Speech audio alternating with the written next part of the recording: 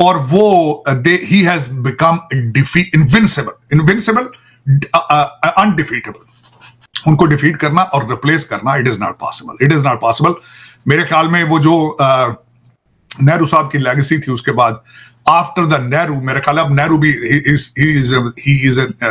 start looking smaller is larger he is a larger leader Gandhi का कहा जा सकता है कि he is a modern period Gandhi मेरा ख्याल में। सीएनएन की ये रिपोर्ट ये बता रही है कि India to become power house of economy super power under Modi's leadership India Modi की लीडरशिप में कैसे इकोनॉमिक पावर हाउस और थर्ड लार्जेस्ट इकोनॉमी बनने जा रहा है?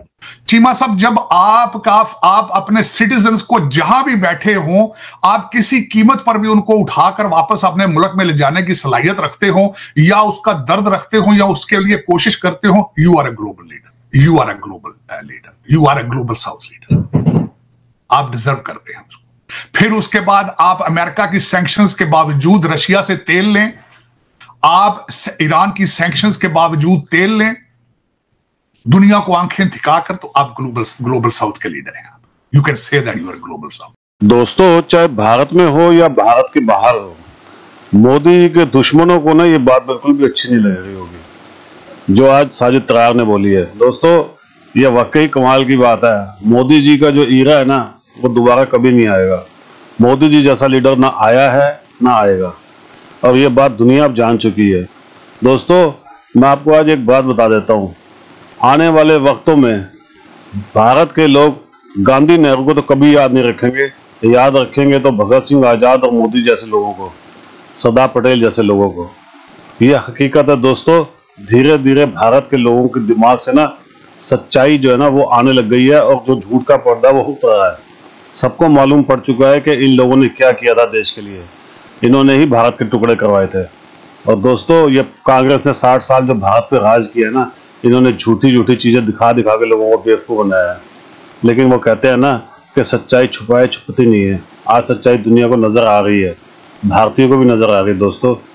धीरे धीरे कांग्रेस जब ख़त्म हो जाएगी ना, और ये जो छुटपुट पार्टी है, तब देखिएगा, हिंदू राष्ट्र भी बनेगा और अखंड भारत भी बनेगा। आप भी कमेंट्स कीजिएगा। वीडियो को लाइक और चैनल सब्सक्राइब ज़रूर कीजिएगा। थैंक यू वेरी मच दूसरा बीजेपी के मैं मैनिफेस्टो को कंपैरिजन इस तरह करना चाहूँगा। जो बीजेपी का मैनिफेस्टो है, इस इस ग्लोबल भारत। मैंने नाम भी उसका बड़ा बड़ा सोच के दिया global Bharat. India versus global Bharat. उन्होंने ग्लोबल साउथ की बात की है। चीमा साहब हक बजानब है। बिल्कुल हक बजानब है। मैं बिल्कुल ठीक कहूँगा। चीमा साहब, जब आप रेड सी के अंदर भी जाके अपने ट्रेड को और अपने शिपिंग को प्रोटेक्ट कर रहे हो you can call you self a leader in global south Cheema sahab, जब आप का, आप अपने सिटीजन को जहाँ भी बैठे हो, आप किसी कीमत पर भी उनको उठाकर वापस अपने मुल्क में ले जाने की सलाहियत रखते हो, या उसका दर्द रखते हो, या उसके लिए कोशिश करते हो you are a global leader उसके बाद चीमा साहब, जब जी जी ट्वेंटी को आप सक्सेसफुली ऑपरेट करें, जब आप ब्रिक्स में जाएँ, जब आप मोदी साहब और जयशंकर साहब के दौरों को देखें you are a global leader you are a global south leader आप डिजर्व करते हैं उसको। फिर उसके बाद आप अमेरिका की सैंक्शंस के बावजूद रशिया से तेल लें। आप ईरान की सैंक्शंस के बावजूद तेल लें। दुनिया को आँखें थिका कर तो आप ग्लोबल ग्लोबल साउथ के लीडर हैं आप।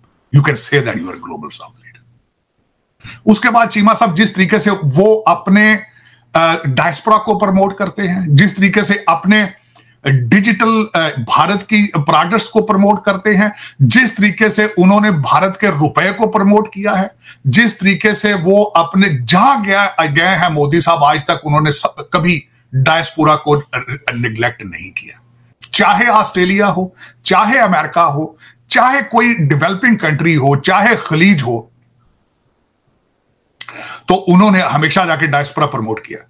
उसमें ये तो एक, इस इस list of things how they can call them self a global south leader और इनका मैंने बड़ी डिटेल से पढ़ा है, खासकर इसी जी, बल्कि मैंने कई चीज़ें इसके साथ मैंने बता भी दी हैं आपको कि what is in their manifesto the of BJP और वर्सेस मैं बल्कि इसको मुसलसल इस तनाजर से देखता हूँ कि कांग्रेस जो है, वो लेबर पार्टी है डेमोक्रेट पार्टी है और BJP is a business friendly far right और Republican Party this is how I compare them with और मेरे ख्याल में list of accomplishments huge accomplishments of Modi period of last ten years और वो they he has become invincible invincible undefeatable उनको defeat करना और रिप्लेस करना it is not possible it is not possible मेरे ख्याल में वो जो नेहरू साहब की लेगेसी थी उसके बाद। आफ्टर द नेहरू मेरे ख्याल अब नेहरू भी start looking smaller is larger he is a larger leader Gandhi का कहा जा सकता है कि he is is a modern period Gandhi मेरा ख्याल में। लेकिन उसमें मैं मैं खुद इस पे उस पे मेरा खुद आई एम सरप्राइज्ड कि जो आपने बात की है वो भी हक बजाना पे।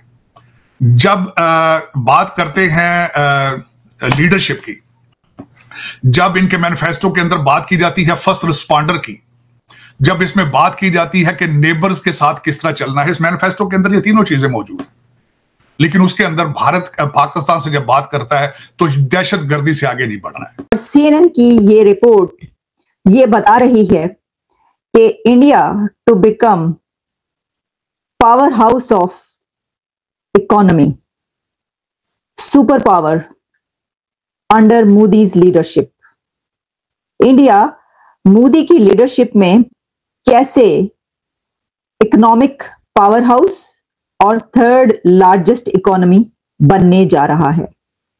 क्या इंडिया अगले चंद सालों में थर्ड लार्जेस्ट इकोनॉमी बनने लगा है? ये डेटा पेश किया है। ये रिपोर्ट पेश की है सीएनएन ने। तो जनाब उनका कहना है कि under Modi's leadership, India is poised to become 21st century economic powerhouse, offering a, a real alternate to China for investors and consumer brands hunting for growth and manufacturers looking to reduce risk in the supply chains. फिर वो लिखते हैं कि एक सबसे बड़ा इस वक्त जो एडवांटेज देखने को मिल रहा है कि while ties between Beijing and West जो कि बहुत ही इंक्रीजिंगली जो है ना स्लो हो रही हैं और बिकमिंग बैड तो इंडिया इस वक्त एंजॉय कर रहा है पूरी दुनिया के साथ हेल्दी रिलेशंस और इसमें with most major economies and is aggressively जो है वो large companies to set up factories in the country पूरी दुनिया के साथ इंडिया के इस वक्त जो ताल्लुकात और रिलेशंस हैं उससे वो फ़ायदा ही उठा रहा है कि अपने कंट्री में पूरी दुनिया की लार्ज फैक्ट्रीज और कंपनीज़ बना रहा है, दूसरी तरफ़ जो उसका राइवल है इस वक्त इकोनॉमी में। और वैसे भी, लेकिन इकोनॉमी की बात हो रही है तो उसका राइवल चाइना दुनिया के साथ अपने रिलेशन जो है वो अच्छे नहीं बना पा रहा। तो ये एक बहुत बड़ा एडवांटेज है। और मैं ये समझती हूँ, इस पर मैं तजिया ये करूँगी कि इसकी वजह ये है कि उनकी फॉरेन पॉलिसी जो है वो कमाल की है, उनकी लीडरशिप जो है वो कमाल की है।